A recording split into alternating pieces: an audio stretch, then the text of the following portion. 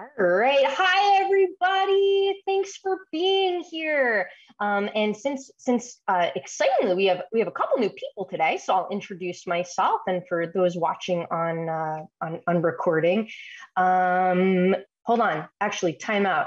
Does anyone know how to change your name on an iPad? Well, I mean, uh, so so whoever just typed that, if you can tell me what you want your name to display as, I can just manually change you. That might be even faster. I know it's like the worst feeling when you want to rename yourself and you can't figure it out.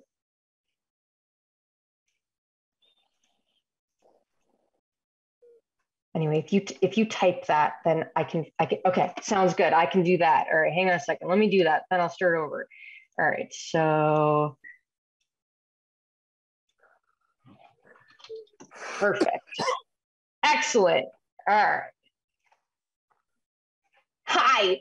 Um, so I'm Mel Hauser. I use she, they pronouns, and I'm the executive director here at All Brains Belong Vermont.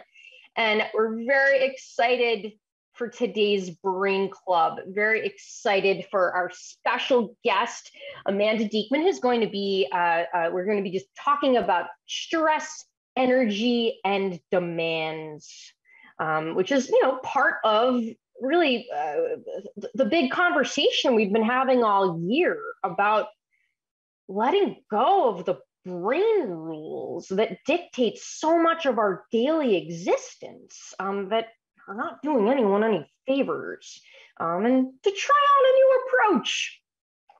Um, and uh, for, for, for those of you who are new to Brain Club, just a little bit of introductions, ground rules. Um, all forms of participation are okay here. Um, as many of you have figured out already, uh, um, you can have your video on or off. And even if it's on, we do not expect anything of you. Um, we certainly do not expect you to like look at the camera or sit still or whatever. Move, walk, fidget, snack, have kids climbing all over you, pets, whatever.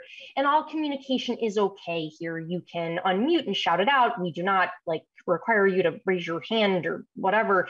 Type in the chat box, gesture, use your emoticons, mix and match, whatever works for you. And just a word about language um, is that uh, you'll hear me and you know maybe maybe other people using identity first language um, when it, uh, for example um, I am autistic and that is part of my identity so that's that that's that's the way I use that word um, and some other people may use other phraseology but just wanted to name that up front in case that's new for some folks. And um, another another part of you know why we why why we get into ground rules is that because safety comes first here.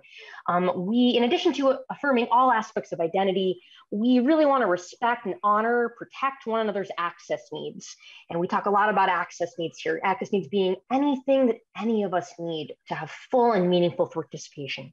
And so that includes um, that you're welcome to talk about anything you feel comfortable talking about at Brain Club. We just ask that if it's something that you personally experienced as distressing or traumatizing, we just ask you to give a content warning with the topic so that everyone else can listen with informed consent versus um, take a break for a minute or two till that topic's over. And we'll always type in the chat box when that topic's over.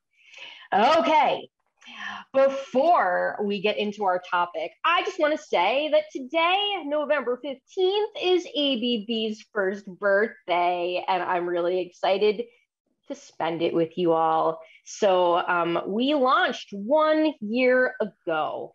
Whoa. And in our first year, uh, we've served 252 medical patients, and our community programs, including Brain Club, have served 474 families and uh, provided 32-ish, I don't really even, it might be even a little bit more than that, neuro DEI trainings. So uh, not bad for a startup nonprofit. And when we talk about neuro DEI or neurocultural competency, I think Luna says it best. That's my Luna. Um, uh, Luna, who by the way, like crashed a professional meeting today. Um, I, and when I referenced her, she goes, "That's me." It was amazing. Anyway, so you know, uh, uh, one of my most recent, thank you, Carolyn. Um, um, uh, one of my most recent neurocultural competency training for a group of healthcare professionals, I said, "Hey, Luna, what do you want me to tell the people?" And without missing a beat, she says, Mama, tell them there's no right way to be a person. That's my baby. So, and that's really what this year has been about. And I'm going to play two minute excerpt of a quick little video that that um, that we put together. We had a little uh, little virtual birthday party uh, a few weeks ago with some of our volunteers. So I'm just going to play two minutes of that. Happy birthday, ABB. Oops, that's not loud enough. I never quite figure out the motor plan of making work. Okay. Happy birthday, ABB. A little over a year ago, an amazing human, Mel, told me about her dream a place where everyone could come just as they are, a safe haven that would be full of magic. And together we dreamed up the name All Brains Belong. When you really think about it, All Brains Belong is a pretty radical idea.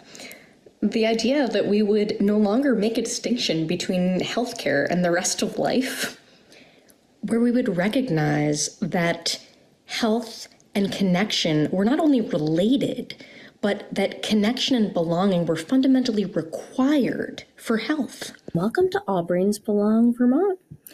It's a kind of an interesting place because it is a doctor's office, even though it doesn't really look like a doctor's office. And it's also where people can make friends who like the same stuff that they like. And um, I had exhaust, pretty much exhausted mainstream healthcare options, or at least the mainstream healthcare options I was willing to try. Um, and I uh, heard this, I was sitting with this friend um, with over coffee who was the director of the Vermont Disability Council, and she was raving about this new doctor in Montpelier who was out as autistic and starting a medical practice. I knew how to be a doctor, but like I did not know how to start a nonprofit, run a nonprofit, run a medical practice, but um, but what I did know is that in order to make an impact and improve the lives of neurodivergent people, you had to change the world. So, like to do anything for the neurodivergent community, you had to do everything. It's not just healthcare; it's it's loneliness, it's school, it's work, it's everything. Quality So I'll post the link in the chat if anybody wants to see the rest. Um, but I think the summary is that, you know, when we set out to think about how do we go about having people with all types of brains feel that we belong, it's really about not having any defaults. And um, uh, as, as, as you heard me say in that video, to do anything, we have to do everything because everything uh, is not is not working and it's about unlearning and reimagining what's possible and uh, to that end oh come on there we go um, to that end um, our reimagining what's possible campaign launched yesterday it's already almost 50 you know it's, it's already 50% done on day two um, thanks to a very generous donor. Um, uh, we have an opportunity to raise $50,000. Um, uh, so donations through the end of the year um, have double the impact. And with that, we're finally ready for today's topic. So Amanda Diekman is a, oops, I'm letting in more people from the, excited that there's more people coming. Um, um, is a family coach and author of the soon to be released book, Low Demand Parenting. Um, Amanda is a, is a parent coach for families interested in a low demand life, a life where you drop demands to meet your kids and yourself with radical acceptance. And trust and joy are rediscovered this way, embracing this way of living. And going low demand sets up an environment for people, families to thrive and so, what I'm going to do um, is um, Amanda and I pre-recorded a conversation. Um, this this video is going to be so about 20 minutes, and we'll keep the chat going so we can we can be interacting this whole time. And then Amanda will be available for your questions, and hopefully we'll have you know we've got plenty of time plenty of time for discussion. So here goes. Could you just did I click the button with the sharing of sound? Did that make noise? I don't trust myself. I'm gonna do it again. Yeah, okay. I always look to Laura Lewis to tell me if uh, if, if, if is working. It's kind of your role. All right, reshare, share sound. All right, here we go. Could you describe um, for Brain Club participants who have necess- who, who are not familiar with like the paradigm of low demand, low demand parenting? Like, can you describe the the the framework to introduce everything else we've talked about? Sure. Yeah. Low demand parenting is an approach instead of a set of things to do. It's a heart system as much as it is a brain system. And it's an approach that reduces expectations and drops demands in order to create a trusting and connected relationship with your child. And the amazing thing about it is that this approach will change your life because we all have little children inside of us who weren't parented exactly the way we needed. And by actively creating trust and connection with your real life children, you create space to have a trusting relationship with your inner child, with your adults in your life. And it enables you to really show up in the world in a wholehearted way. So I, I do say, like, be careful dipping your toes in this because it's going to change your life.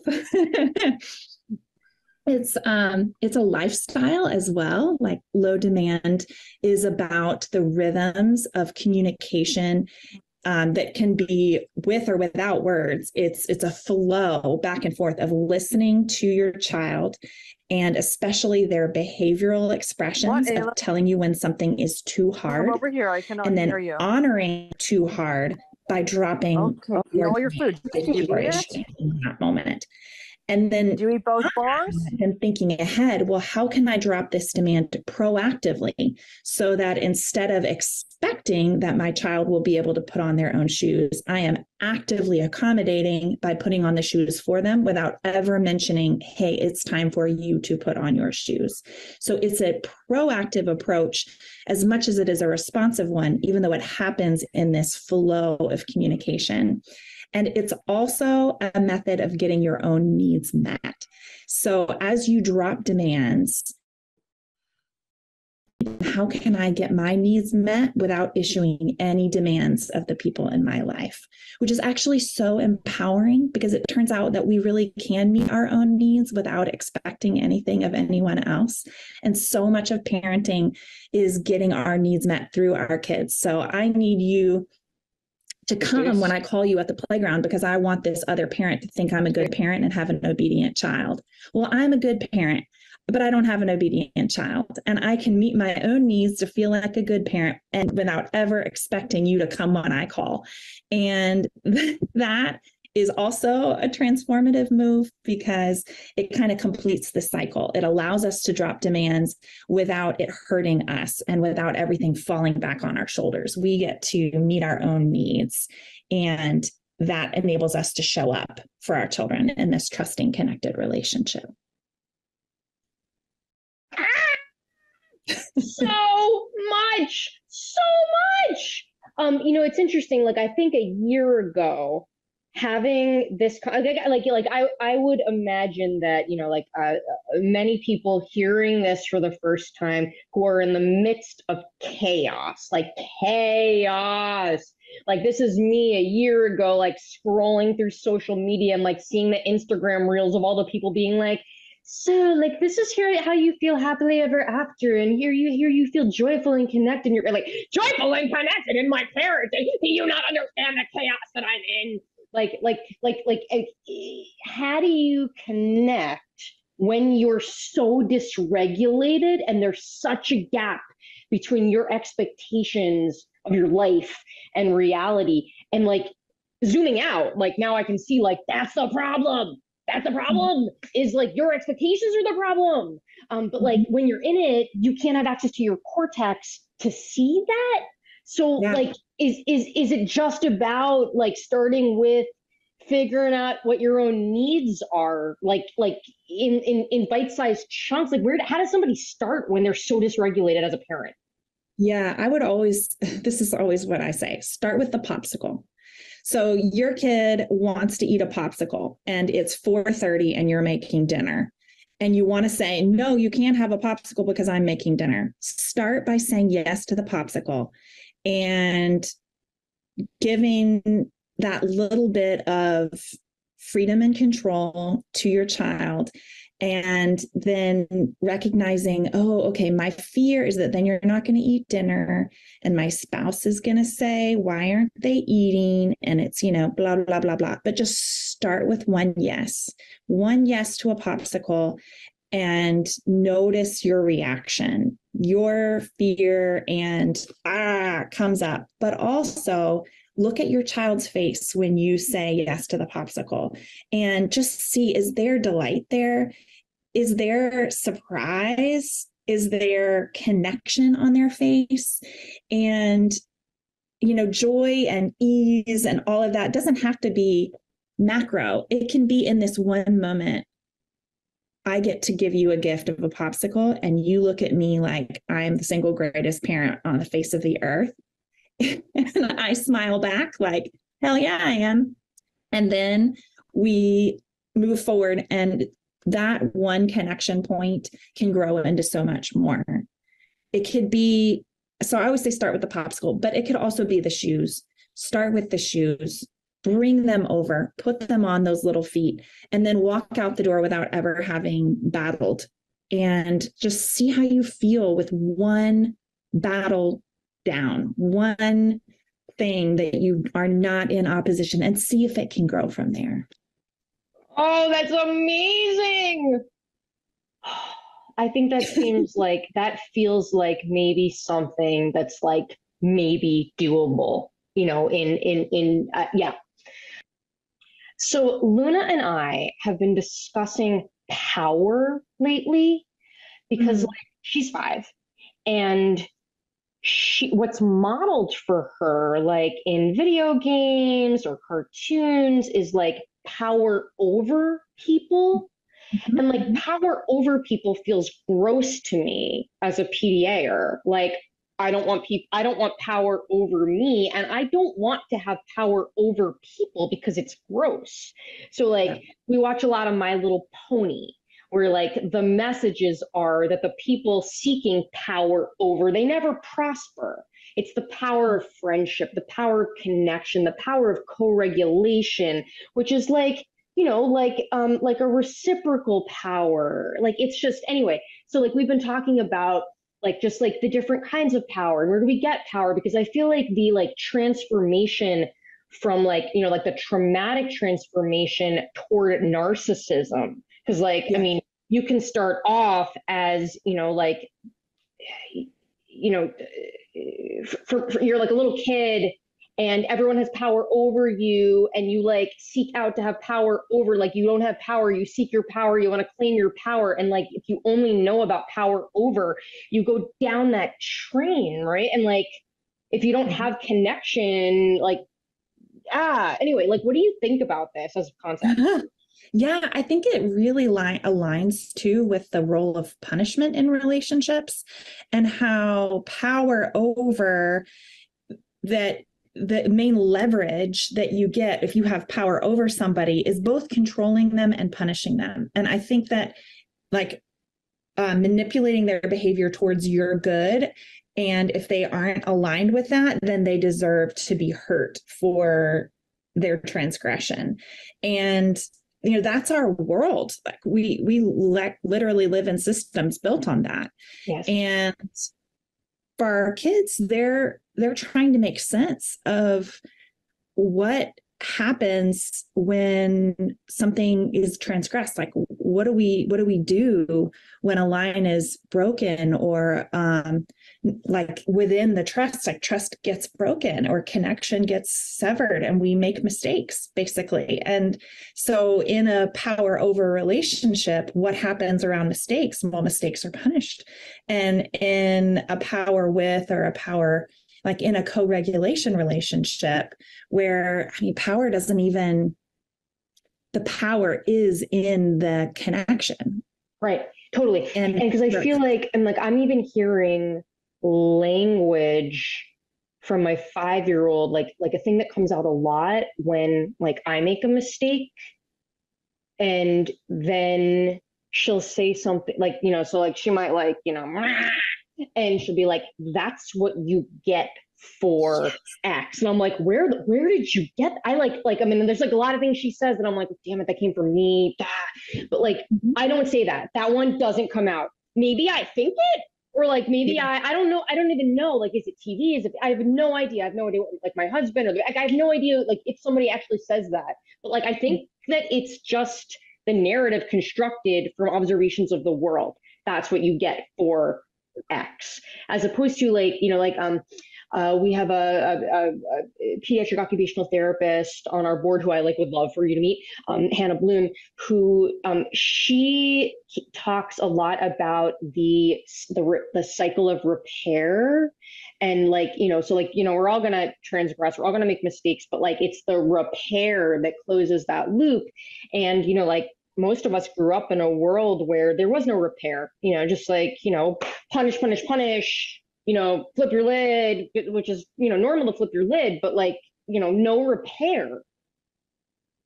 Yeah, absolutely. And the repair with yourself is what I see, especially for my kids, that they're externalizing like that's what you get for is what they say to themselves too.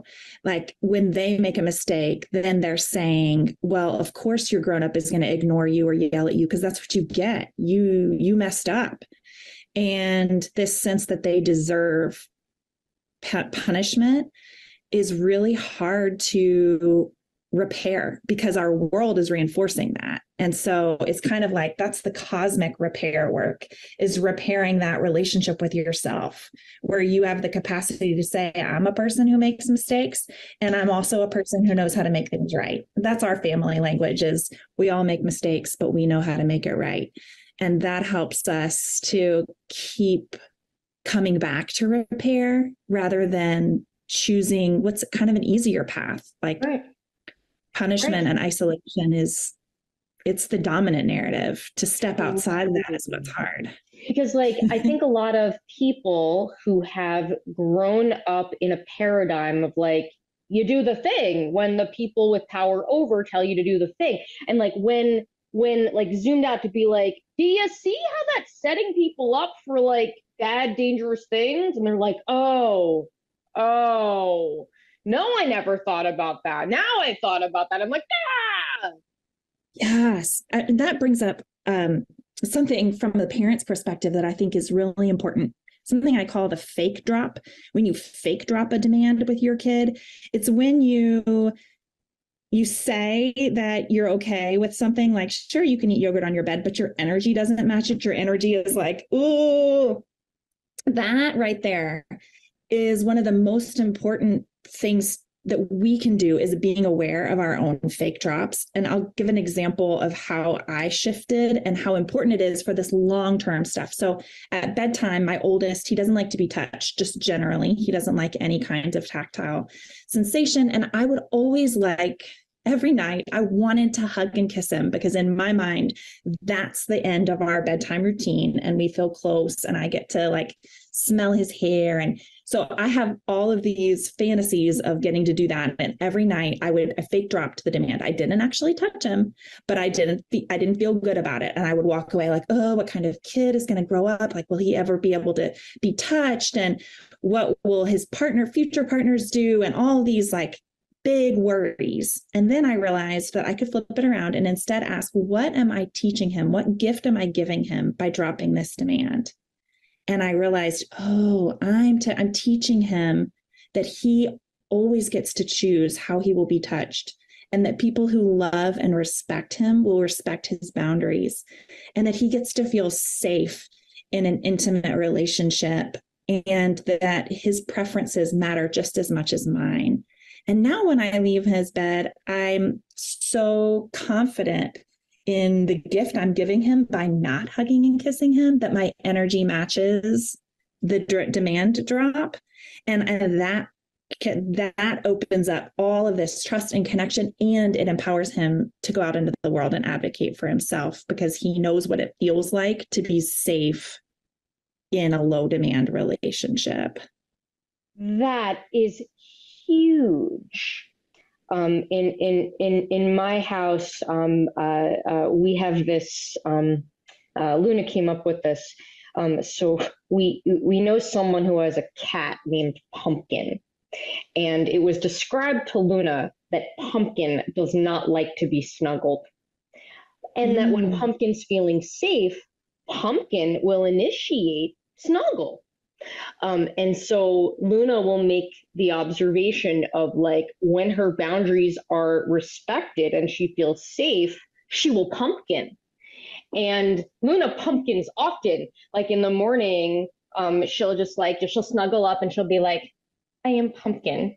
And like it it just I mean, yeah, I mean it's it's it's everything. But like it's it's like letting go. It's like it's it's totally the fake drop. It like had to mm-hmm. start from like a zooming out strategy, you're being manipulative, mom. Like that that was the fake drop.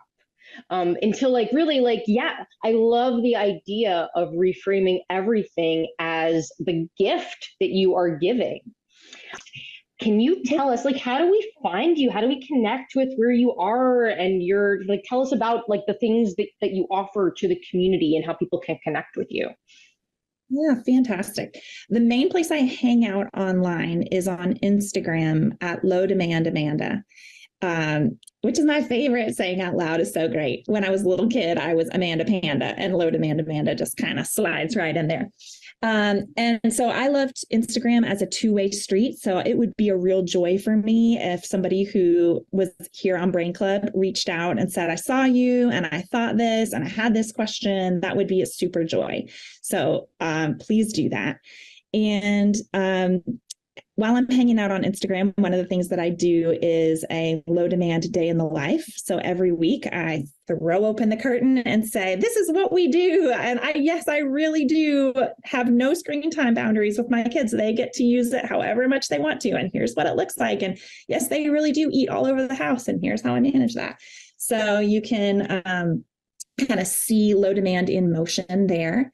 And then if people are interested in like in digging in and taking on more in a bite-sized kind of way, there are also um, two courses that you can take. One is like a single class, and the other are little bitty videos and worksheets and good for people who like to do their own work in their own pace. Um, and you can find links to all of that through my website, which is amandadiekman.net. And then the last thing is that if you're watching this way later and maybe it's 2023, you could be looking for my book to come out called Low Demand Parenting, and it's going to be published in the summer of 2023. Congratulations! That is so Thank amazing. You.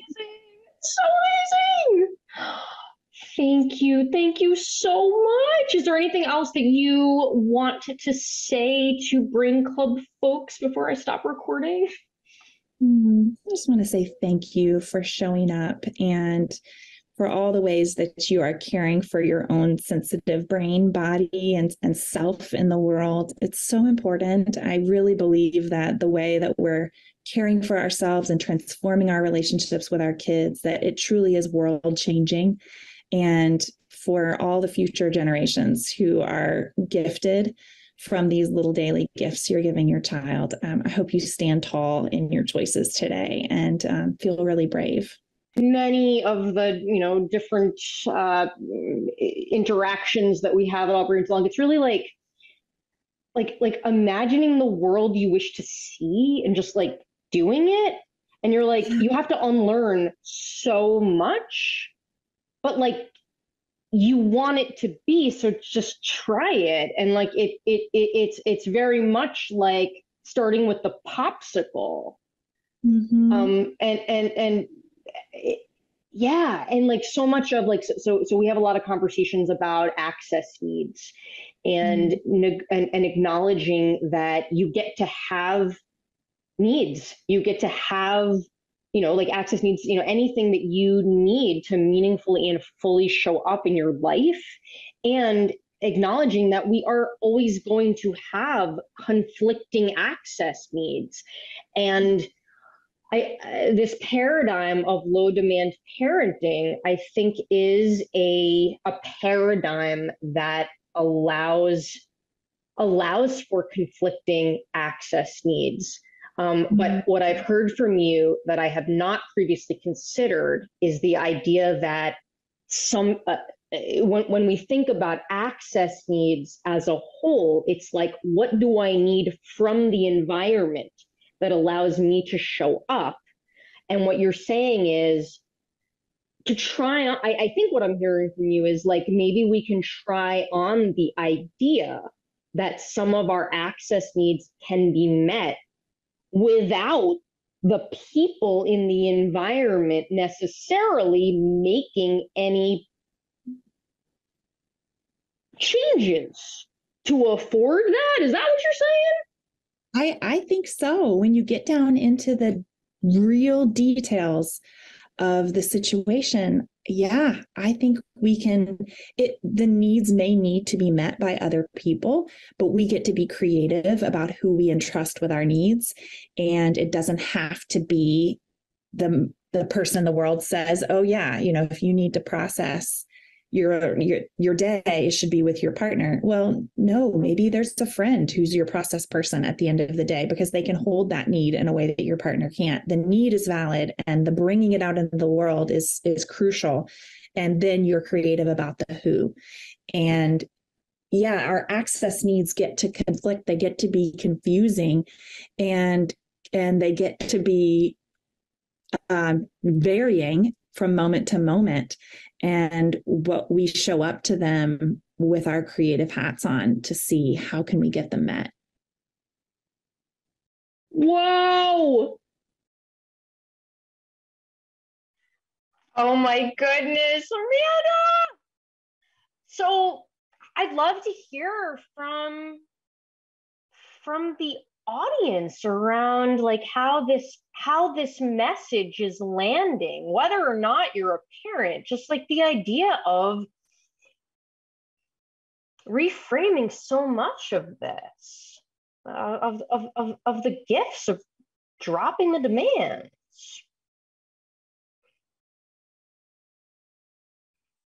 Reading in the chat um, carolyn says I don't have kids, but I like reading about and watching content about gentle parenting. That and now Amanda's approach bring me joy and hope. So heartwarming.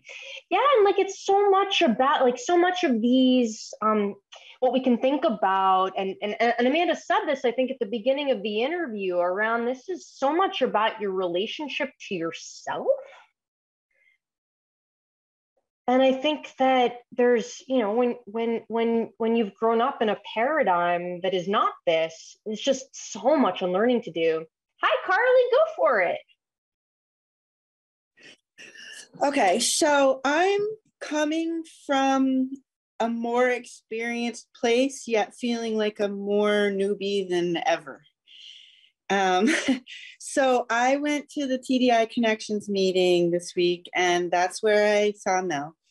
And I'm actually um, an experienced special ed teacher. I've worked with gifted students as well because I've taught in states that have gifted programs. And um, my son uh, turned out to be one of those kids. And I, um, it wasn't until I, so I left education quite a few years ago and came back. And um, in the meantime, there was this PDA thing that has come about. And um, yeah, so this whole thing with the low demand lifestyle, I had to turn my camera off because I was not comfortable with just pouring out tears. Not because I have to take that very first step to let my kid have the popsicle, because since he was born, his sugar has been in the bottom cupboard where he could decide whether he wanted it or not. That's just my natural way of parenting, influenced by my incredible training in special ed. But I have been making all of these accommodations that have been ma- masking some of his issues. And then as he goes out into, yes, cried too, yeah. And so as he's gone out into the world, all of a sudden this perfectly behaved kid is we're we're running into some really really big problems and for me it isn't so much as the encouragement to let go of those things as it has been tonight feeling like i have been doing the right thing. And screw everyone else. And that's just all i have to say. Okay thank you. Absolutely. You know it's nothing you did wrong. You did everything right. And intuitively like i think a lot of this is about reconnecting with your intuition because when society keeps being like do the thing and you're like but but but uh, and you're like you cortically override to do the thing as a parent and then like as soon as you're like oh oh now i can do the i can i, I can i can parent intuitively like what ah i'm so glad you're here Mia, go for it. Yeah, um, yeah, I was saying that in the in the chat that so often when we have conflicting access needs, so many of us are told we can't have them met because other people's needs matter more than ours. And I know that as a child, a lot of people would say to me, "Oh, you just need to think about other people's feelings," or and I like think, well, that would be all well and good if it was two way, but it's like they had more power, and it goes back to what you what was being said about um, people who have power over us. It's like they can do like like what I find is that I might think that something's wrong, but it's like sometimes we're, we're uh, not we're not in a position to stop people transgressing against us and like and our boundaries but um but yeah um but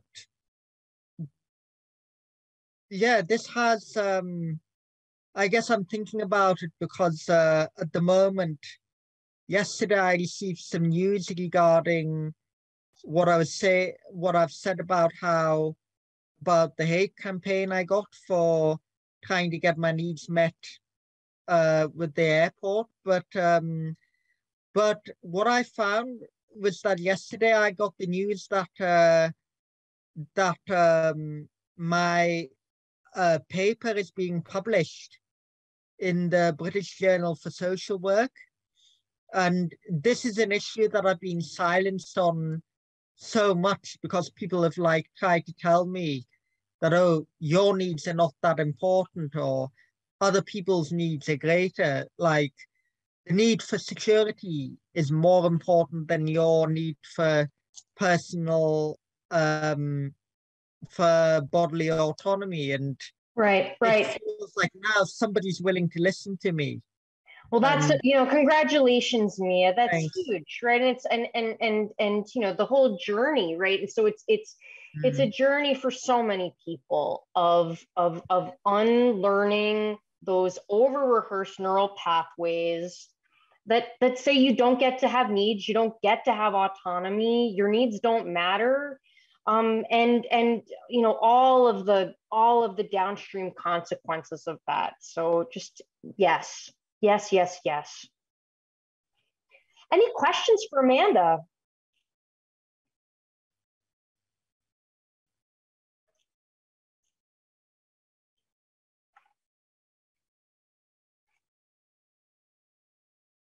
Or anything, Amanda, and as as as, as uh, you know, as as you, oh, Laura, go for it. I didn't even actually form my thought yet, so it's perfect. Go for it. Sorry, I'm cutting you off, Mel. That's Amanda. I that was so helpful to hear, and you can hear our house right now is rocking. But um, the blog post that I just was like, told that one got me emotional. Was how do we do this and prepare our children for the real world? And I feel like you've addressed that concern of mine in this blog post, but I just love to hear you speak more about that because I feel like it's it, to Carly's concern. It's like you can control in some ways a, a, home environment and then you send them into the world where you don't have control and and what do you how do you prepare them for that environment while still setting them up to have a safe home Yeah, it's a great it's a really common question. It's it's an important question and it I think it points to so much of what makes um the low demand preparation. And I, I met, told Mel I'm a solo parent of three. You're welcome to join. Come on in. Um, tonight, not always, but tonight I am. Um, so first of all, when I'm thinking about the real world, I always want to question now, what is real about that world that I want to affirm in my own family, that I want to create and recreate every day in our environment? Are there parts about the real world that I never want to bring into my home? And the answer is yes. Hold on. Yes, Lucky. Oh, yes. You don't know how to unlock that? Um, how to get it. I don't know either. Anybody know how to unlock the skate park? It's not clicking. Um, I don't know, but I really don't power know. off and restart. Oh, power off and restart. Can okay. you? I don't know. I'm making that up. I actually have no idea. I flip my lid when my technology doesn't work. well, he's handling it well. Amazing. Uh, and if there are parts of the real world that I actively want to resist in my home, then I am also creating people who know how to resist it when they experience that reality in the world. So, a big part of the reality of the world is this um, very harsh view of cause and effect that if you transgress, then you deserve punishment. And we all know that that system is horribly broken. And yet, so many of us recreated in our household, like we can toughen up our kids so that when they experience it in the world, they'll be okay. But how many of us got toughened up as kids and we were not okay? We actually needed to go through this whole process of unlearning as adults about how to be open and how to be gentle and how to be soft and how to let down our protections that mm. that we learned so young in order to protect ourselves from from the ways that we were parented. One more second, or else I'm gonna lose my thought. Okay.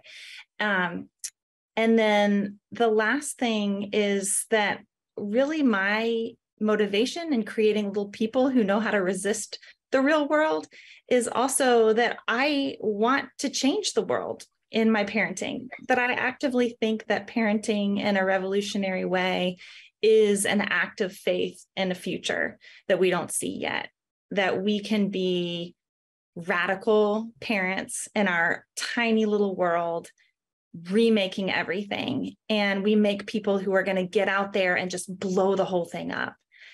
And that's what i want more than anything. Okay now i'm going to mute and help help this very patient little person. Amazing. Amazing. Exactly. Um yes. Nia. Yeah uh as um, like I've been in quite a few unschooling groups uh, over the years because although I don't have children, I've always felt very strongly that that is the way forward and that would have been what would have helped me.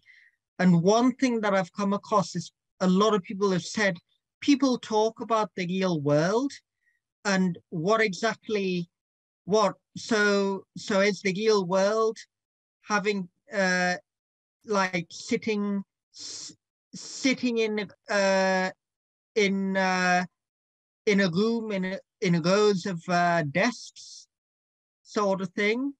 And like is that really the real world? Uh, and I think a lot of it does go to what exactly is the real world. And um but yeah it's like uh it's like the real world is what pe- what people with the most power have de- decided it is, and uh, and I think um, and of course when COVID happened, a lot of that was had to change. Yeah, and so you know, like you know, the the uh, who defines reality you know who defines what is the real world it's um you know it's it's it's back to power over and when we really think about how as human beings we're all wired for connection and co-regulation and it's that quote the real world is about overriding and disrupting that natural drive for for co-regulation. Hey Stacy, go for it. Hi. Um, so I have to go all fangirl on you, Amanda. Like you are just one of our favorite people in our home and a daily inspiration for like how we can do better by our kid. Um, and also for people that might be like having the midlife, I'm think I'm autistic crisis um, as well in their 30s. So um, thank you for just being you and putting yourself out there and being so vulnerable and allowing other people to benefit from that vulnerability. Um, I just, this conversation reminded me of what I was listening to on my drive home. Um, it's a book called Neurotribes, and it just talks about how in like the 80s, um, you know the the mindset was that it's just much easier to change the behavior of the child to than to address the stigmas of society when it came to like neurodivergent behaviors and neurodivergent individuals. And i just think it's super cool like brain club and all that you are doing here is like trying like you're taking on society instead of focusing on changing the child. And that's just a real 180 um, it's a heavy lift but it's just like I was in a conference today, um, this morning for like insurance and this woman had just gotten back from a big conference in San Francisco and the best talk she attended in the 4 day back to back to back was about neuro inclusion in the workplace and i'm like this is cool like this is what i want to hear more of um, so it's just exciting and kind of to echo the sentiments in the chat to be a part of all of this, like world changers for sure. Oh, Stacy, that's amazing. Right. I mean, so I think the thing is, you know, whether, you know, when we really kind of think about the defaults of all the major systems, they're clearly not working, right? Like, so, you know, not only, you know, the healthcare system, you know, like not working for like most people, not just even, not just neurodivergent people. Employment, think about all the open positions, like em- employers across so many different industries can't recruit people or keep people in jobs because people don't want them because they're so like, like there's it's not the person it's the environment right like but when you know when when when you just assume that the real world this is how this is and it's a foregone conclusion that it's all going to be terrible why? Um, but you know i i grew up I, I i was the kid that you know i remember my you know i i often got the message of like get a grip on reality. You don't have a grip on reality. And i think that was my pda of like it's not a like it's not that I don't understand reality, it's that I refuse to accept it because it's terrible.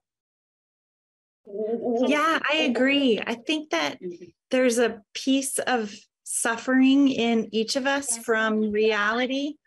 Oh, um, the, the reality that we were told is reality. And then a part of us when we were little that believed in a different world, that believed that our reality mattered too, and that our inner selves were inherently right, and that there was some sacred worth there. That Mom. we were told, oh no, that's not reality. You know, your dreams aren't real. And we shut it down. And um, part of this what I see yeah. with in low demand parents, yes, Bubby, just mm-hmm. a second. Oh, yeah, we're going to put it on. We're going to put it on. Is that there's a childlikeness that can come, a, a kind of a reconnection with the little part of our that um that shut it down a long time ago Stop. and that we can kind of bring that dream back to life again amen to that carly I think just to add another layer to this idea about how difficult our reality is, is I don't know if you had a chance, Mel, to read the paper that Trevor Tebbs sent out to all of us, but like his basic message is that um, while we are squashing these neurodivergent minds, we are giving up an opportunity to save the world. So there's a whole nother level to what you're doing here. That's it. You know, reframing it that way is really, really important, right? So when you are sending, when you're, when you send the message of, you know, this deficit-based message about being broken and defective, like, guess what? That impacts development. Guess what? That impacts everything. Guess, I mean, just it's, it's, it's, it's everything. Um, there's a, there's a question in the chat. Um, Amanda, I'm brand new to your work. I love what I'm hearing. I'm curious to hear more about how low demand parenting and boundaries interact. For example, my PDA son considers toothbrushing a major unpleasant demand. This is something I'm not willing to compromise on. Can you talk about this? I would love to. But first of all, my youngest has something he would like to say. He has been I raising can his hand. Yes. Do you want to show off your snapping? Wow. That's amazing. I that, New you know it, it's it's really cool that you practiced to, to make to make that happen. I didn't learn how to snap till I was like 32.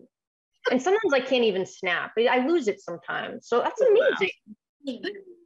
So low demand and boundaries, I would say this is probably my second most um, common question outside of like preparing them for the real world. So This is great. Um, so before I get to the toothbrushing question, which is um, a really helpful example, toothbrushing.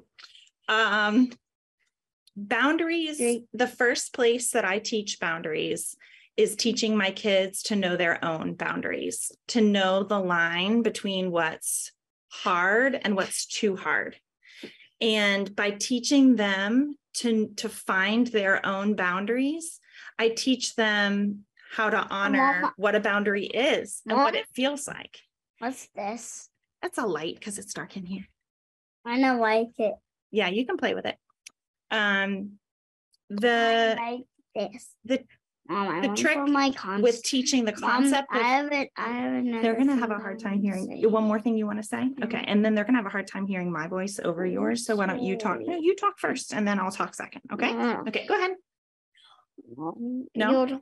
You'll talk first. me talk first okay then you can talk second um when oh brain boundaries Boundaries like to know like your your boundary. and- Yes, yeah. teaching them the difference, teaching them that line between hard. When something is hard, we're brave, we can do hard things. When something is too hard, we drop the bound, we drop the expectation. I knew you were gonna see that, so I dropped your hand because you were gonna. Thank you. It was a dramatic illustration of the dropped boundary. Um, so we drop the demands and we find other ways to get our core needs met. And as soon, when kids learn that, that I, and for my kids, they know that when something is too hard, we always let it go. And so if I say, hey guys, this is too hard for me, then they understand, oh, then we need to let it go Mom, because look at their it's too hard. to. I know they're, oh, they have something they need to say. Mhm. Okay. We're worried about you, Mia, but, but we're going to come back to you. We see your hand. No, but no, Um, I can wait. Okay. can wait. Awesome. For toothbrushing, this is the crazy thing about demands is that they are actually cumulative in our system. We were just talking about this. uh, I was talking about this with a client today that we have a certain number of push throughs in our system, a certain number of That kid just left. We are, oh, somebody left. left. Oh, that's okay. Remember there, if we're, if we're both talking at the same time, our voices are going to get mixed up. So right now it's just me. Okay. Okay. Um, when when we're brushing teeth and saying this is a top priority is brushing teeth is a top priority then you want to drop as many other demands as you can surrounding the brush teeth experience. So every single tiny demand that has to do with brushing teeth and truly in your day so that the cumulative system is ready to hit this top priority with the full strength. And so if you've already given away all of your push throughs in the day, you're not going to have anything left to get up to something that's really, really hard, right on that line between hard and too hard, and say, I can do this. I can get through to the other side. So if you've already used it, like this. that's lip gloss. Um, if you've already, Oh, let's say you, I have a hard time brushing my teeth. This is me. If I've already used my push throughs on um, like having my body touched a lot, doing the dishes, and I'm almost done. Um, then I get to brushing teeth time and I'm like, I don't have it in me. I can't do it tonight. And I don't do it. It's the same for our kids. If we can honor as many of their boundaries as possible, then when it gets to time to brush teeth, they're going to have more there to honor that this is a top priority and to to go as far as they can. And it's just a core principle that kids always do well when they can. So it's really just a way of saying set them up to do well. Okay, what do you have to say?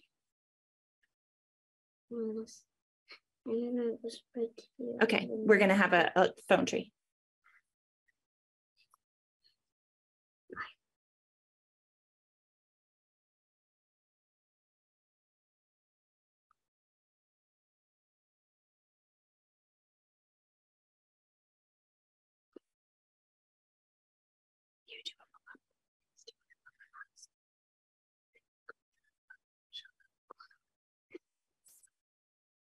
Okay. Um, he made a homemade stuffy and he's gonna go get it and show you guys in a little bit. Yeah. No, right now. Oh, right now. Okay. All right. Okay. off- Linda's gonna love it so much. Yeah. Mia. Yeah, I was thinking about how um, a lot of people would say to to me that I when when I don't just listen to them, uh, when I don't just uh, ignore my own boundaries or whatever, that I don't care about other people, because what I find is over the years I've found myself not caring about their needs, but that's basically being because they don't care about mine. And it's like when I think of how my mental health was affected, I found myself thinking, why should I care about a society that doesn't care about me? And and yet when people sort of meet me halfway, I'm happy to meet them halfway. Like when I went to the airport um, and had, uh, they spoke about reasonable adjustments and they were quite clear about what their boundaries were and what they could and couldn't do. And even though they were quite um, clear about what what their boundaries were, it's like I felt sort of this thing about going through that scanner was was what would be considered too hard for me. And it's like that was one thing that was like too hard whereas having the conversation was hard but it got easier when but it's like it got easier as we talk but it's like um for me it's like i was always okay to negotiate but I think what I struggled with was this very, for years, sort of, there was this non negotiable way of thinking that, oh, you're the one who needs to change your attitude. You need to take therapy. Right. And I found myself just, because it felt so many people felt like that, I felt like the whole of society thought of that or much of it. And I found myself not caring about society when they did that. So I actually feel apart from anything else. They, these people, they actually do a lot of damage to themselves because they alienate people like myself from them. Whereas actually, if they'd been more willing to engage with me, I'd have been much more willing to engage with them and I'd have been able to do more for them and Yes, absolutely. Thank you for sharing that. I think that there's so many people for whom that's true, right? Because when you when your when your access needs are not met, that is when you don't I mean safety comes first for everybody. And when your limbic system does not feel safe, you are not going to have bandwidth, spoons, whatever you want to think about it, to be like perspective taking and like, you know, you, you don't have resources available to be like thinking about other people's needs. You're just trying to restore safety. Hey, is there a stuffy? No, that's okay. It's cool. Um, any other time, if you ever want to, I'd be like, love to see it because I love stuffies. Okay. So I actually need to um bow out and Yeah, yeah. Um, I just heard something really important from this one. Yeah. No, I think it would be actually really helpful for all of these other grown-ups to hear the really big truth you just had. He said, I'm starting, can you stop doing this? I'm starting to feel like you don't care about me. And I- that is such an important wisdom that I just wanted to tell you that this is why I'm leaving is because it's starting to feel like I don't care about him. And that is, I always tell people in all my meetings that my kids are my top priority and that I would rather compromise another adult than compromise their connection to me. So I'm just letting you know why I'm bowing out. Um, and thank you for all the love. It's been such an honor to be with you guys tonight. And I really meant it in the video that it would be a a real gift if you would send me a message on Instagram and say hi and let me know that you were here and that you're part of All Brains Belong. Um, I will tell them thank you. Yeah, there's a message in the chat to thank my kids for sharing me. Yeah, they're pretty generous, um, but they they notice. And um, actually, I think that my middle one just called the little guy away for a second to give me a chance to say goodbye to you guys. Um, but something that I talk about with my kids a lot is that um, I learned all of this by listening really deeply to them, that they were my wake up call. And I didn't know about the impact of demands on my own life until my kids got really brave and really bold about sharing with me that things were not okay and that the path that we were on was not okay with them. And so I just want to to share that that I really do owe so much wisdom and learning in my life to my kids being willing. And they weren't always willing to do it in the nicest way. Like i don't want to paint a really beautiful picture. It was it was breakdown. It was burnout. It was extreme beha- behavior. But that was bravery too. And sometimes we got to get loud with the people in our life to let them know yeah i know that's what we have to say sometimes. So i do care about you and i'm saying goodbye to these friends so that we can spend time together okay? Okay. All right. Good night y'all. Thank you so Good much. Good night. Thank you. And thank you all, everyone being here. And um, uh, uh, we build on this conversation about reimagining. Um, next week, we're going to be talking. It's, uh, it's it's time for our monthly discussion of reimagining employment. Um, and we're going to have it. a, a I, I, I think it's going to be an asynchronous conversation um, with with Jesse Bridges from United Way Northwest of Vermont, and um, we'll be um, continuing reimagining and creating the world we wish to see. So thank you all so much for being here, and I hope you have a great week. Bye.